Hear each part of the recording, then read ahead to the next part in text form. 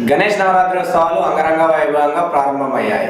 వేములవాడ పట్టణంలోని భాగవతుల నగర్ శివసేన యూత్ ఆధ్వర్యంలో గణనాథుడికి ప్రత్యేక పూజలు నిర్వహించారు. యూత్ సభ్యులు పదిహేడు సంవత్సరాలుగా గణనాథుని నెలకొల్పి సేవలు తరిస్తున్నట్లు అర్చక స్వాములు తెలిపారు.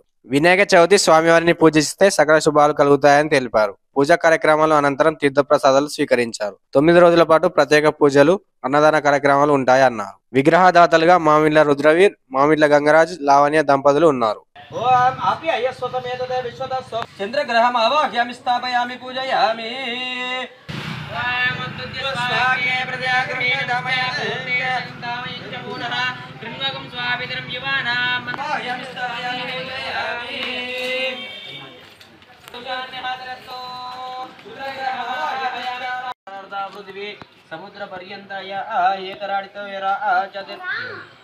స్థాపయామి పూజయామి పృథివీ సముద్ర పర్యంతాయ ఏకరాడిత చతుర్ जय बोलो गणेश महाराज के जय बोलो गणेश महाराज के जय बोलो गणेश महाराज के जय बोलो गणेश महाराज के जय बोलो गणेश महाराज के देव महागणाधिपतये नमः ఆన కర్పూరడీరా అనుగ్రహ కటాక్షముల వ్యాపార విద్య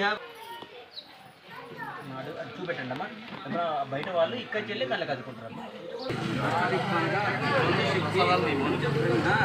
దేవత ఆనుకూల్యత ఫల సిద్ధిరస్తు.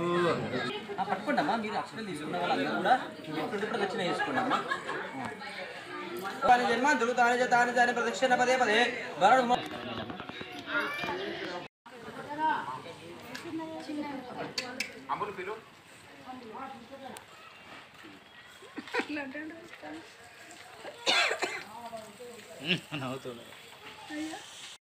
శివసేన వారి యూత్ ఆధ్వర్యంలో ఈసారి పదిహేడవ వార్షికోత్సవం సందర్భంగా విగ్రహదాతలు మామిన్ల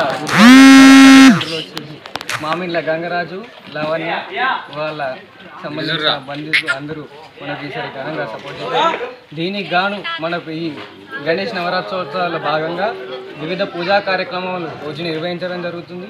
దీనికి గాను ఈ భగవంతరావు నగర్ వాసులే కాకుండా పట్టణ వాసులు అందరూ ఇట్టి పూజా కార్యక్రమాలను నిత్యం జరుగు పూజా కార్యక్రమాల్లో పాల్గొని మన స్వామివారి కృపకు పాత్రలు కాగలరని మనం ఈ శివసేన యూత్ ఈరోజు భగవంత నగర్లో వెమ్లవాడ భగవంతరావు నగర్లో శ్రీ శివసేన యూత్ ఆధ్వర్యంలో పదిహేడవ వార్షికోత్సవం సందర్భంగా శ్రీ మహాగణాధిపతిని ప్రతిష్టాపన చేసి మొదటి రోజు పూజాది కార్యక్రమాలు నిర్వహించడం జరిగినది. ఈ పూజాది కార్యక్రమాలకు గ్రామస్తులే కాకుండా అధిక సంఖ్యలో భక్తులు పాల్గొని పూజా కార్యక్రమాలు నిర్విఘ్నంగా చేశారని తెలియజేస్తున్నాం. ప్రతి ఒక్కరు కూడా తొమ్మిది రోజులు మనము ఇది దేవాలయంలో వినాయకులను దేవాలయంలో మనం రోజు మనం వెళ్ళొస్తాం కాబట్టి అక్కడ రోజు జరుగుతుంది.